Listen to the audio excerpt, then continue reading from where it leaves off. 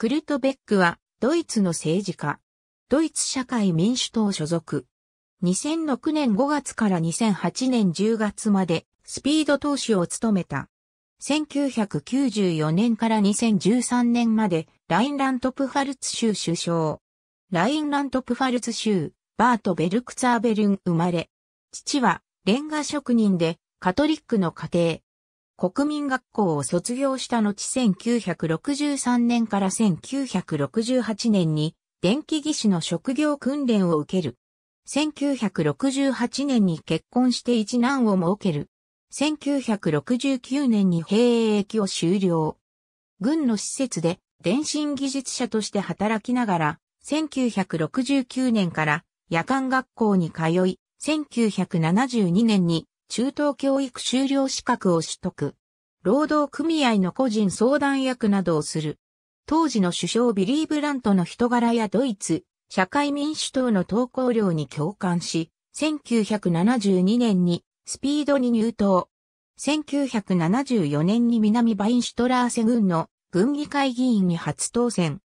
1979年にはラインラントプファルツ州議会議員に初当選。1982年に州議会スピード社会政策担当広報官。1985年州議会スピード議員団事務局長。1989年、住所のあるシュタインフェルトの区長を兼任。1991年、州議会スピード院内総務。1993年、同州首相で、州代表のルドルフ・シャーピングがスピード党首となったため、スピードのラインラントプファルツ州代表に就任。ドイツ連邦議会議員に転じたシャーピングはベックを後継の州首相候補に指名。スピードは1994年の州議会選挙で勝利し、ベックは10月26日に州首相に選出された。自由民主党との連立を維持することで1996年、2000年、2006年の州議会選挙を勝ち抜き、州首相として長期政権を維持している。2003年には党の実力者としてスピード副党首に就任。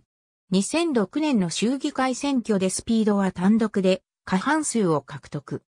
ベックはそれでも FDP との連立維持を申し出たが、FDP 側が拒否して単独政権となっている。2007年10月にバイエルン州のシュトイバー州首相が退任したため、ベックはドイツ各州の首相の中で最古参となった。2011年の州議会選挙では、得票率を10%近く減らし、11議席を減らしたが、第一党を維持した。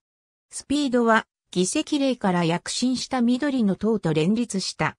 ベックの州首相在職中、終日校や無料保育所の整備が推進され、また、州の失業率は、ドイツ各州では3番目に低い7%に抑えられた。アンゲラ・メルケル首相とベック2005年の連邦議会選挙でスピードは第一党から転落、ゲアハルト・シュレーダー政権は退陣し、フランツ・ミュンテフェーリング党首も責任を取って辞任した。後任には唯一立候補したブランデンブルク州首相のマティアス・プラツェックが選出されたが、健康不安を理由に翌年4月に辞任。後任として副党首のベックが押され、2006年5月14日に95%の得票で正式にスピード党首に選ばれた。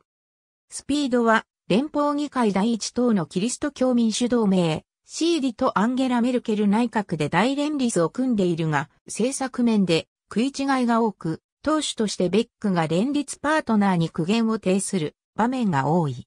一方で、スピード党内でも、メルケル内閣の副首相を務める調整役のミュンテフェーリングとの差や当てが囁かれた。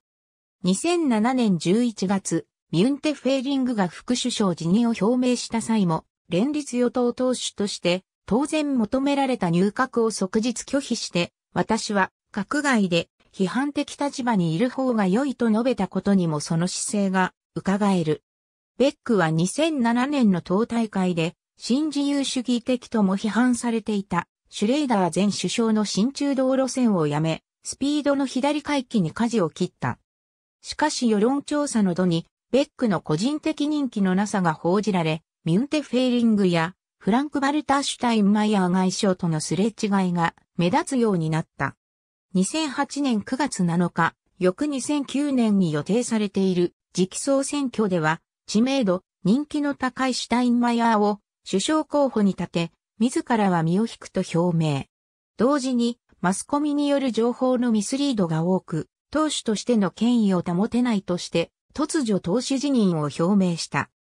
2012年9月、長年務めた州首相を辞任する意思を表明し、後任に自身の内閣からマルドライヤー社会、労働、保健、人口省を指名した。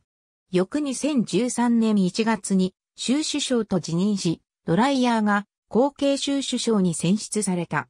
直後の自身の64歳の誕生日である2月5日には、州議会議員も辞職して、政界を引退した。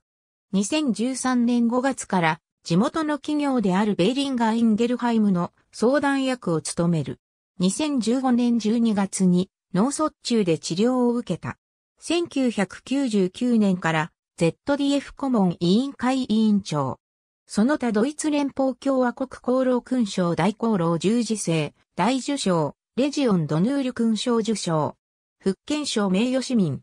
2006年11月7日から社会主義インターナショナル副議長を務める。ありがとうございます。